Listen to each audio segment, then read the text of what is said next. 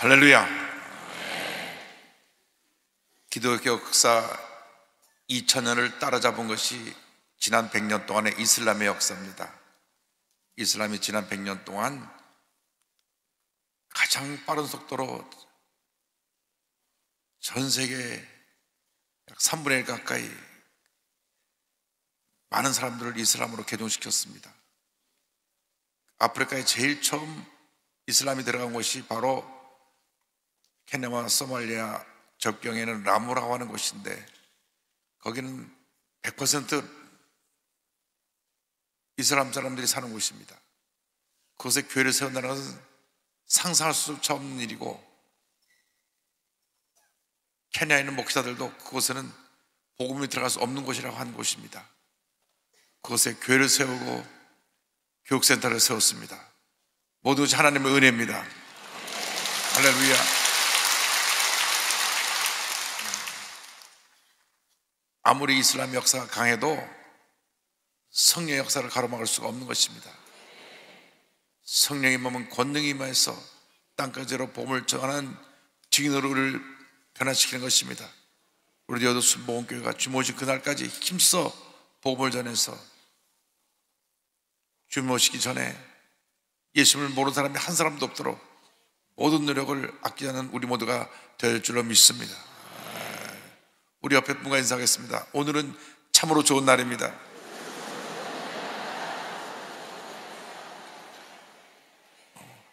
우리 모두에게 좋은 일이 일어납니다.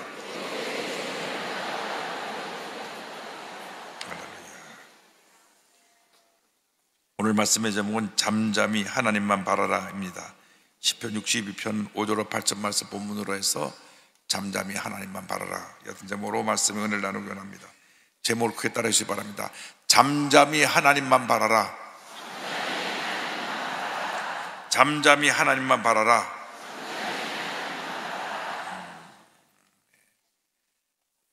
지금도 비가 내리고 있습니다만은 장마비와 국지성 호우로 전국이 큰 피해를 입었습니다. 그러나 이러한 현상은 한국뿐 아니라 전 세계적으로 일어나고 있고 인간의 자연 생태계 파괴로 다가온 지구 온난화로 말미암아서 극지방의 얼음이 녹아 해수면이 상승하고 저에 따라 집적인 호우, 폭설, 한파, 폭염, 가뭄 등이 일어나면서 생물이 사는 환경을 위협하고 있습니다. 사이언스 타임즈가 보도한 연구 자료에 따르면 지구 온도가 2도를 상승하면 생물종의 15에서 45%가 멸종할 수 있다고도 합니다. 기후변화로 다가온 재앙이 온 세계를 덮고 있습니다. 한 예로 2019년도, 20년도 호주에 일어난 산불은 약 5천만 에이커, 서울 크기의 336배가 불탔고 6천 채 건물이 파괴되었습니다. 2020년 중국은 최대 홍수로 말미암아 5,500만 우리 남한 인구보다 더 넘는 이재민이 발생하였고 태국은 40년 만에 최대 가뭄으로 설탕, 쌀, 고무 등 농작물 수확에 큰 피해가 예상되고 설탕 수확량만 30%가 떨어져서 큰 어려움을 겪게 되었다고 합니다. 인간의 무분별한 산림 파괴와 토양 오염, 오염, 대기 오염, 수질 오염을 시킨 결과로 말미암아 그 재앙이 고스란히 우리 인간에게 돌아오고 있는 것입니다. 하나님께서 지으신 이 아름다운 자연을 우리들이 생태계를 파괴해서 이 지구가 이렇게 재앙에 빠진 것입니다. 다시 이 자연환경 회복과 잘 보존하는 것이 매우 중요한 것을 우리가 깨달아야 합니다.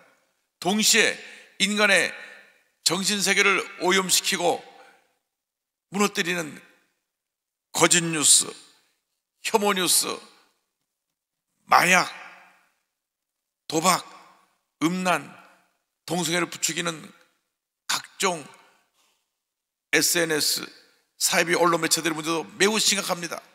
이 모든 것의 피해는 고스란히 선량한 시민들이 입고 있는 것입니다. 여기에 대한 적극적인 대책도 없어서 그냥 손 놓고 있는 상태가 되다 보니까 이런 자연환경의 재해와 정신환경의 재해가 우리에게 다가와서 피해를 입고 있는 것입니다. 어떻게 이 많은 문제를 우리가 해결해 나갈 수가 있겠습니까? 다윗이 압살롬의 반역으로 피난길에 올랐을 때 그, 그가 당한 그 고난 앞에서 어려움 앞에서 하나님 앞에 이와 같이 고백했습니다. 잠잠히 하나님만 바라라. 할렐루야. 62편 1절 5절입니다. 나의 영혼이 잠잠히 하나님만 바라며 나의 구원이 그에서 나오는도다. 나의 영혼아 잠잠히 하나님만 바라라. 물은 나의 소망이 그로부터 나오는도다.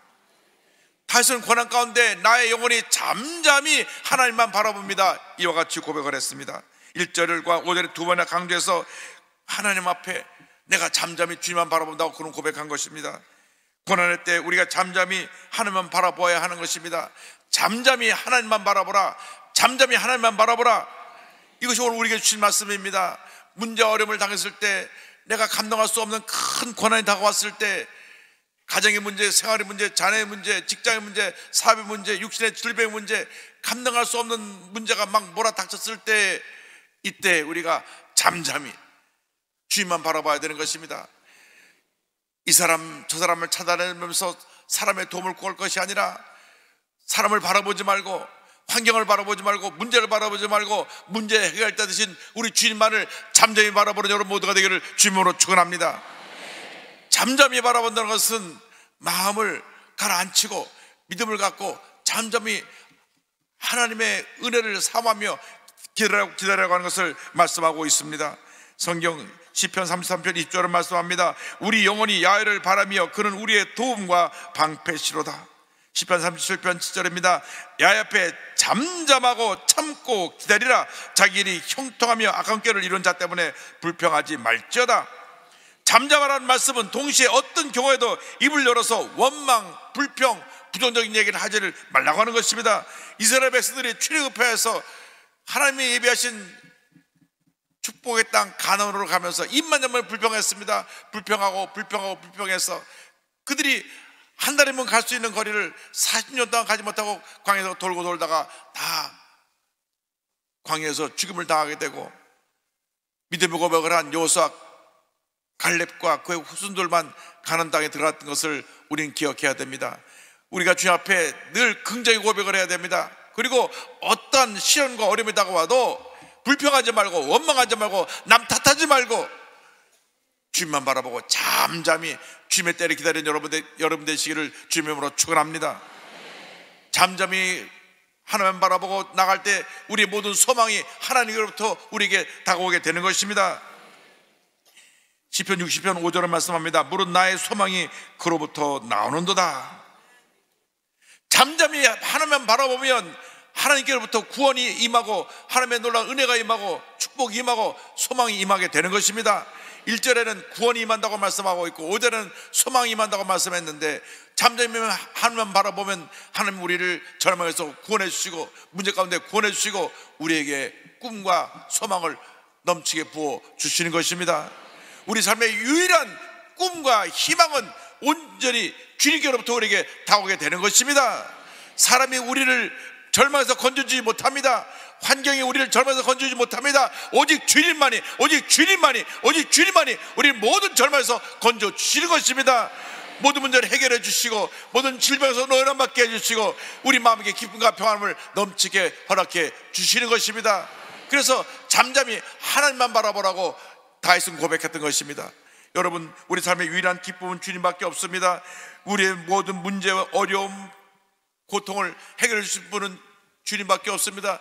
구원이 주님께로부터 나오는 것입니다. 이 구원은 나를 어제 구원하신 어제의 구원, 오늘도 나를 젊어서 구원하신 오늘의 구원, 앞으로도 우리를 구원하실 내일의 구원도 모두 포함하고 있는 것입니다. 주님이 우리를 구원해 주십니다. 주님 안에 우리에게 참 소망이 있습니다. 하나님께 주신 아름다운 목소로 주님을 찬양하던 성악가 조지 베브리 세어는 예수를 만난 다음 예수보다 더 귀한 분이 없습니다. 나는 이 목소리를 한평생 주님께 바쳐서 주님을 찬양하며 살기 원합니다. 그래서 빌리그레암 전도단에 들어가서 빌리그레암 목사님 가신 곳마다 찬양을 불렀습니다. 1974년 우리 한국의 빌리그람 대성회를 할 때도 오셔서 성회 전에 말씀 전에 찬양을 불렀던 기억이 납니다. 이 세상 그 무엇과도 주님과 바꿀 수 없는 것입니다. 조지 베브리의 선생님은 이것이 자기의 신앙 고백으로 어디를 가든지 빌리그라 목사의 말씀 전하기 전에 나와서 이 귀한 찬양을 불렀습니다. 수많은 사람들이 크게 감동을 했습니다. 시편 62편 6절 7절은 이와 같이 말씀합니다. 오직 그만이 나의 반석이시요 나의 구원이시요 나의 요새 신이 내가 흔들리지 아니하리로다. 나의 구원과 영광이 하나님께 있으며 내 힘의 반석과 피난처도 하나님께 있도다. 주님만이 나의 모든 것이 되시는 것입니다. 내가 내 힘으로 의지하면 흔들릴 수밖에 없습니다. 사람들이 강한 것 같아도 남의 말 한마디 듣고 그냥 상처받고 무너지는 것이 우리들의 모습입니다. 실제로 그 얘기를 확인해 보지도 않고 누가 뭐라 그러더라 하는 말 듣고 그냥 스스로 무너져 버립니다. 이것이 우리의 연약함인 것입니다. 1980년대 미국에서 1년에 130만 명 이상 청소년들이 집을 가출했습니다. 그런데 그 가출한 이유를 보니까 가정 불화, 부모님의 다툼, 폭력, 또 약물 중독 이런 것들로 인해서 집을 나와서 떠돌아다니는 청천리 130만 명이 넘었는데 그 중에 많은 아이들이 부모가 싸울 때 화가 나서 소리 지른 그 말 한마디 듣고 상처받아 집을 떠났다고 합니다. 부부가 싸우는데 앞에 아이가 보니까 그냥 화나서 아이한테 소리 지릅니다. 꺼져버려! 꼴도 보기 싫어! 넌 왜 태어나서 이렇게 우리를 힘들게 해? 화가 나서 순간적으로 말했는데 아이는 그 말이 막 충격적으로 받아들여서 나는 잘못 태어났구나. 내가 있을 곳이 아니구나. 그날로 보따리 싸고 집을 나가버린 것입니다. 그래서 이 아이들이 거리를 떠들면서 정말 비참하고 힘들고 어려운 삶을 살았던 그러한 때가 있습니다. 지금도 많은 청소년들이 이렇게 집을 떠납니다. 여러분, 젊은이들, 어린 청소년들은 마음이 무지지 못하고 약합니다. 말 한마디에도 상처받고 무너지는 것입니다. 그래서 늘 부모가 따뜻한 말을 해야 되는 것입니다. 아무리 부모가 화가 나고 격해도 그 격한 감정을 실어서 아이에게 말하면 아이는 상처받고 무너지는 것입니다. 그래서 우리 예수 님는 사람이 독서로운 말을 해야 됩니다. 남을 살리는 말을 해야 됩니다. 칭찬하는 말을 해야 되는 것입니다. 막 야단치고 욕을 해서 되는 건 아닙니다. 그 아이의 입장을 이해해 주려고 노력하고 사랑으로 품을 때 하나님의 은혜가 임할 줄로 믿습니다. 절대로 우리가 이러한 일에 마음이 무너지면 안 됩니다. 누가 뭐라 그래도 내 앞에 서 누가 성질 내고 욕을 해도 전혀 흔들리면 안 됩니다. 그냥 눈만 깜짝 깜짝하고 말아야 돼요. 뭐라 자꾸 소리 지르면 할렐루야, 할렐루야. 그리고 말아야 됩니다. 같이 맛 대항해서 싸우면 본인만 마음만 상처를 받는 것입니다. 여러분 세상은 어떻게든지 예수 믿는 사람들이 잘 되는 걸 원하지 않습니다. 아코노소마이가 조정을 해서 무너뜨리려고 그럽니다. 상처받게 하고 시험 들게 하고 무너뜨리려고 하는데 마음을 지키고 잠잠히 주님만 바라보는 여러분 되기를 주문으로 축원합니다. 히브리서 12장 절 말씀합니다. 믿음의 주여 또 온전하게 하시는 예수를 바라보자. 예수를 바라보자. 예수를 바라보자. 우리의 구원은 우리의 유일한 피난처는 오직 주님 한 밖에 없습니다. 주님만 바라보는 여러분 되시기를 주님으로 축원합니다. 시편 56편 10절로 11절을 말씀합니다. 내가 하나님을 의지하여 그의 말씀을 찬송하며 야를 의지하여 그의 말씀을 찬송하리이다. 내가 하나님을 의지하였은즉 두려워하지 아니하리니 사람이 내게 어찌하리까? 어떤 어려움이 다가 주님만 바라보고 주님만 의지할 때 하나님의 은혜가 임하게 되는 것입니다. 10편 57편 7절입니다. 하나님이여 내 마음이 확정되었고 내 마음이 확정되었으니 내가 노래하고 내가 찬송하리이다. 어떤 문제를 당해도 어려움 당해도 주님 앞에 감사하고 찬양하며 나가는 여러분들가 되기를 바랍니다. 주님을 바라볼 때 찬양이 나옵니다. 감사가 나옵니다. 기도가 나옵니다. 주님을 바라볼 때 우리 마음속에 은혜가 넘쳐나게 되는 것입니다. 성경을 보면 예수님께서 십자가 다리 전날 밤 개세만의 동산에 기도하러 올라가시면서 그날이 밝으면 십자가 달리실 것인데 찬송하며 올라가셨습니다. 마태복음 20장 30절입니다. 이에 그들이 찬미하고 감난 사람으로 나아가니라. 바울과 신라가 억울하게 매먹고 감옥에 갇혔을 때 그들이 불평하지 않았습니다. 원망하지 않았습니다. 그들은 찬송했습니다. 사도행전 16장 25절입니다. 한밤중에 바울과 신라가 기도하고 하나님을 찬송함에 죄수들이 듣더라. 기도하고 찬송함에 죄수들이 듣더라. 여러분 감옥 안에 험악한 사람들 많이 있습니다. 그런데 왜 사람들이 들어와서 밤에 잠도 안 자고 기도하고 찬송을 부르면 저 미친놈들 아니냐고 주먹 들고 두들겨 팼을 텐데 얼마나 그들의 모습이 은혜롭고 아름다웠던지 모든 죄들이 귀담아 그들의 찬송을 들었습니다. 여름의 찬송이 여름의 주의를 변화시키는 것입니다. 절망 중에 찬송하십시오. 환란 가운데 찬송하십시오. 문제를 찬송하시기 바랍니다. 주변에 있는 사람들이 감동을 받게 될 것입니다. 주여, 우리가 아무리 힘들고 어려도 주님만 바라보고 나갑니다. 주 앞에 감사의 찬송을 올려드립니다. 주님 영광 홀로 받아 주시옵소서. 주 앞에 감사하고 찬송하며 스스로 우리의 마음을 토해놔야 되는 것입니다. 주 앞에 부르짖어 기도해야 되는 것입니다. 성경을 말씀합니다. 62편 8절에 백성들아 스스로 그를 의지하고 그의 앞에 마음을 토하라 하나님은 우리의 피난처시로다. 고난의 때 주님께 엎드려 마음을 토하며 기도해야 되는 것입니다. 절대로 기도를 게으리하면 안 됩니다. 기도는 주님께 나의 모든 것을 맡기는 우리의 간구인 것입니다. 영적인 제사인 것입니다. 여러분 힘들고 어려울 때 이 사람 찾아가서 도와달라고 저 사람 가서 도와달라고 하는 전에 하나님께 엎드려 주여 나를 불쌍히 여주시고 나를 이 젊어서 건져주옵소서 주님 앞에 마음을 토해놓고 기도하는 여러분 되기를 주님으로 축원합니다. 절대로 기도를 게으르지 않게 되기를 바랍니다. 기도는 맡기는 것입니다. 주님을 의지하는 것입니다. 주님께 나의 모든 손을 아뢰는 것입니다. 사람들에게 그렇게 말을 잘하면서도 하나님 편나서 꿀먹머리가 되면 우리에게 아무런 변화가 나오지 않습니다. 사람들 찾아가서 30분 얘기할 그 시간에 주님께 엎드려 30분 기도하시기 바랍니다. 이 사람 사람 전화 걸어서 남 얘기하기 전에 하나님께 엎드려 주여 내가 이 같은 문제가 있사오니 주님 날 도와주시고 이 문제를 해결해 달라고 부르짖어 기도하는 여러분 되기를 바랍니다. 하나님께서 즉시 응답해 주시기도 하고 때때로 시간을 두고 응답해 주시기도 하지만은 응답되지 않은 기도는 없는 것입니다. 하나님께서 하나님의 때 하나님의 뜻대로 우리에게 응답해 주시는 것입니다. 응답은 세 가지입니다. 즉시로 예스로 응답이 옵니다. 하나님께서 우리의 기도를 들으실 때가 있고 둘째로 왜 기다리라고 하는 때가 있습니다. 셋째로 그것은 아니다 하고 하는 응답이 올 때도 있습니다. 어떻게 하든 하나님께서 우리 응답을 주시는데 하나님께 마음을 터 기도할 때 하나님의 우리 기도를 들으시는 것입니다.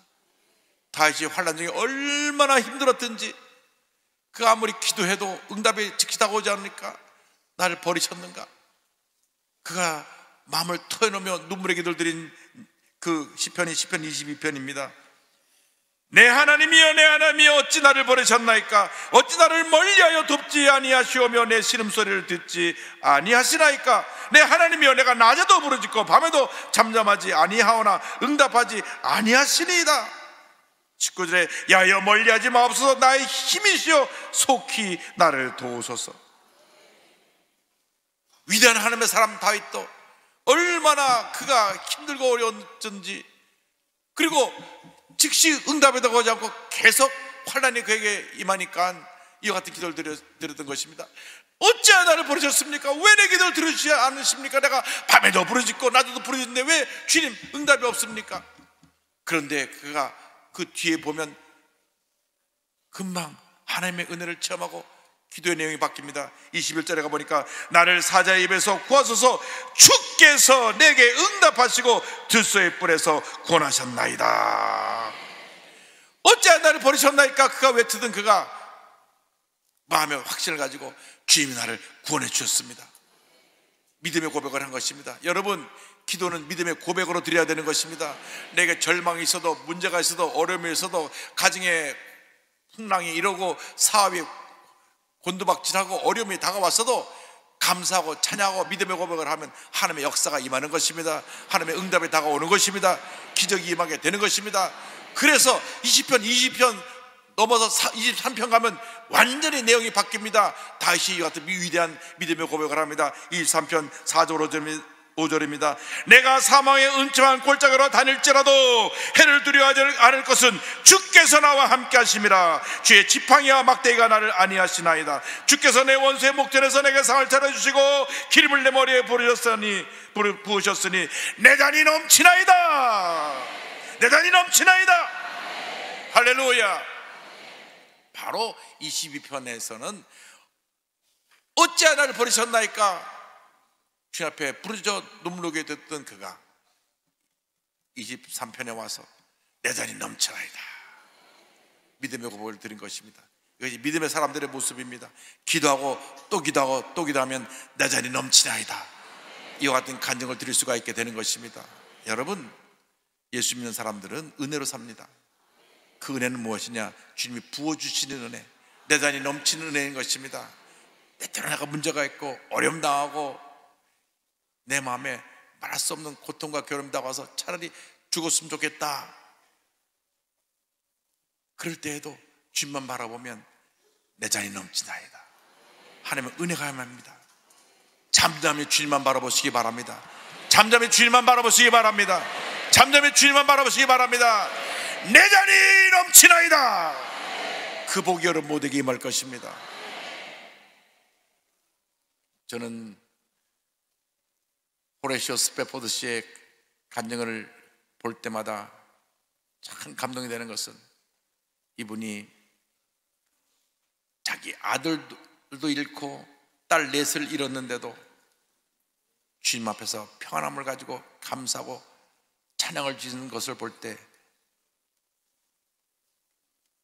늘 제게 은혜와 감동을 갖다 줍니다. 이분은 1828년 10월 20일 뉴욕에서 태어난 분으로서 1860년 시카고 법무법인의 대표로서 또 린드 대학교와 시카고 의과대학의 법리학 교수로서 법리학 교수입니다. 교수로서 노스웨스 장로교 신학교 이사 및 운영인으로서 섬기던 주님의 귀한 일꾼이었습니다. 또 무디 부흥사를 도와서 무디교회 회계를 담당하는 회계 담당 집사님이셨고 교회를 열심히 섬기는 하나님의 일꾼이었는데 1871년 10월 8일 시카고 대화재로 말미암아 도시 전체가 불타고 10만 명이 이재변이 나고 300여 명의 목숨을 잃는 화재가 났는데 이때 그가 섬기던 교회가 완전히 불탔고 그가 온 재산을 들여서 장만한 큰 저택도 불에 타서 잿더미가 되고 말았습니다. 바로 그 무렵에 네살낸 아들이 성홍열로 세상을 떠납니다. 그러니까 네 살 된 아들도 잃었고 전 재산도 잃었고 자기가 그렇게 충성하고 헌신하던 교회도 다 제담하게 돼버렸으니 완전히 절망해서 주저앉을 수밖에 없는 그런 모습이었습니다. 그럼에도 불구하고 관심은 빨리 교회를 다시 재건축해야 되겠다. 빨리 교회를 건축해서 우리가 주님 앞에 예배드리는 장소를 마련해야 되겠다. 자기 재산이 다 잿더미가 되는 것 이것은 두 번째 일이고 교회가 빨리 지어지도록 그 앞장서서 교회 복원을 위해 이리 뛰고 저리 뛰고 동무서주했습니다.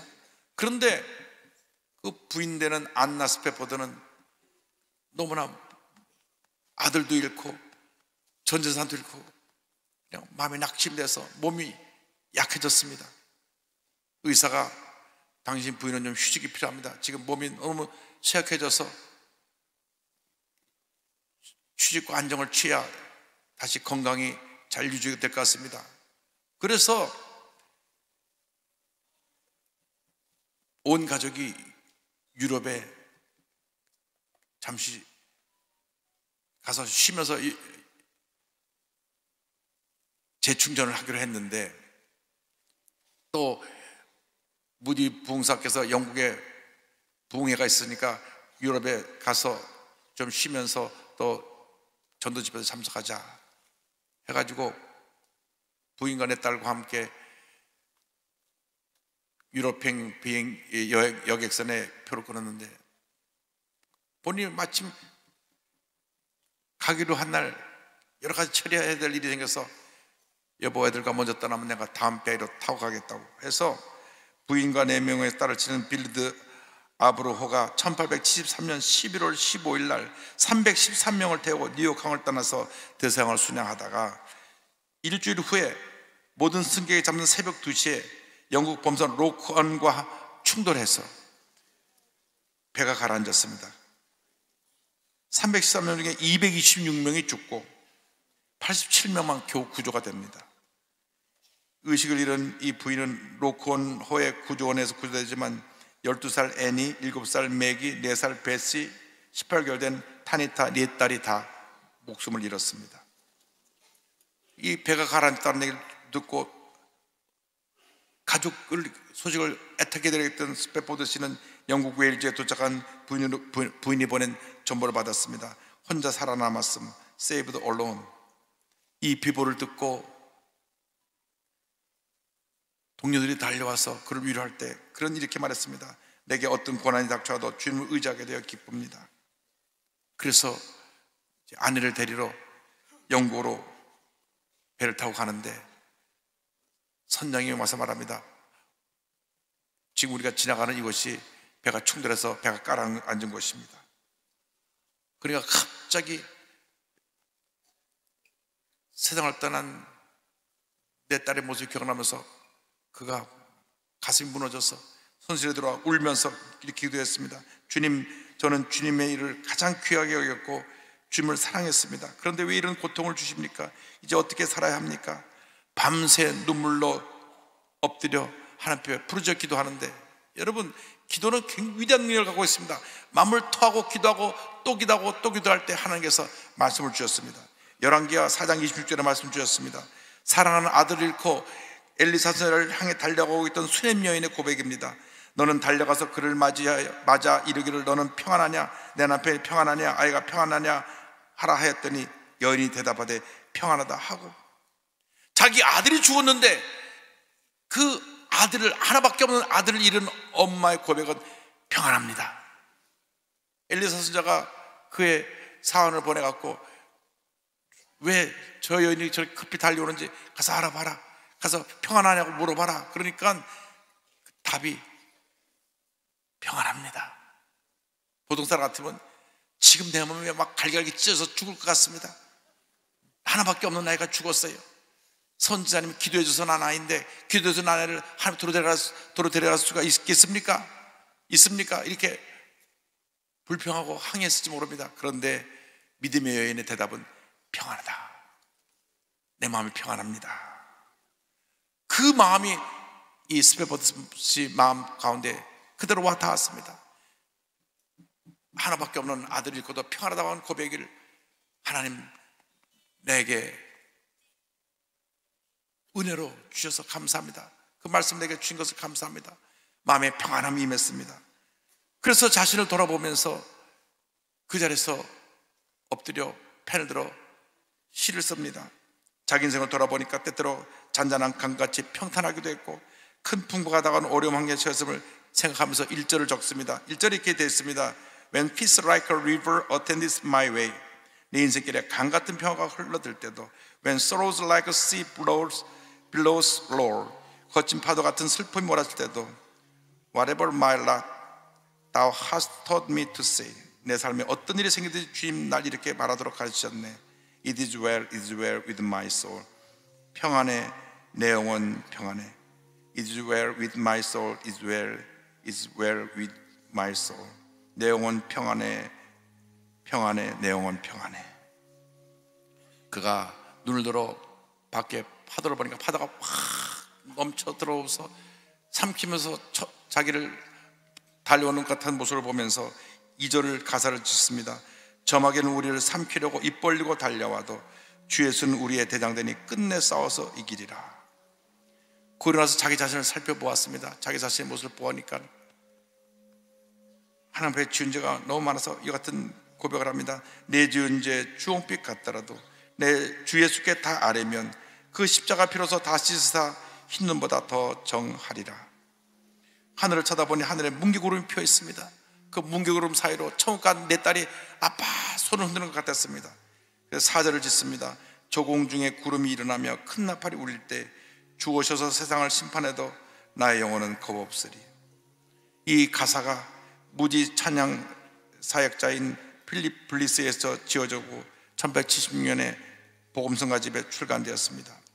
이후로 호레시오와 부인은 매년 3만 명 이상의 아이를 돌보는 스페포드 아동센터를 설립했고요. 1881년 다시 얻은 두 아이와 함께 예루살렘으로 들어가서 죽을 때까지 고아와 가난한 사람들을 섬기는 삶을 살다가 1888년 10월 16일 거기서 주님의 품에 안겼습니다. 절망 가운데 포기하지 않았습니다. 낙심하지 않았습니다. 마음에 편함을 가지고 호비다는 그날까지 고아와 과부를 돌보며 주의 사랑을 실천하며 살한 위대한 하나님의 사람으로 쓰임을 받았던 것입니다. 어떤 어려움이 다가와도 문제가 다가와도 문제를 바라보지 말고 환경을 바라보지 말고 주님을 바라보고 마음의 평안을 얻게 되기를 바랍니다. 환란 풍파가 닥쳐오고 문제가 다가와도 주님 바라보고 주님을 찬양하고 시때때로 때때로 마음을 터놓고 기도할 때 주님의 은혜가 임할 것입니다. 평안함이 임할 것입니다. 주님의 위로가 임할 것입니다. 주의 놀라운 축복이 임하게 될 것입니다. 어떤 문제 어려움을 갖고 계십니까? 주님을 바라보십시오. 주 앞에 마음을 터놓고 기도하시기 바랍니다. 주님이 주시는 평안함으로 넘치게 채워질 것입니다. 주님의 은혜가 여러분 모두에게 임하시기를 주님으로 축원합니다. 축원합니다.